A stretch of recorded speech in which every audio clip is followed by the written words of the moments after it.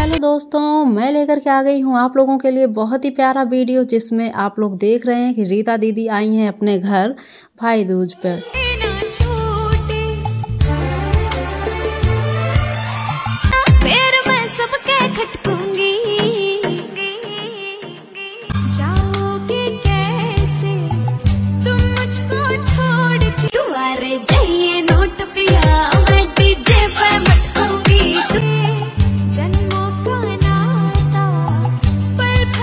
दोस्तों, आप सभी को भाई दूज की बहुत बहुत शुभकामनाएँ। आज का दिन आप लोगों को कैसा रहा, अपने कमेंट्स में ज़रूर बताइएगा।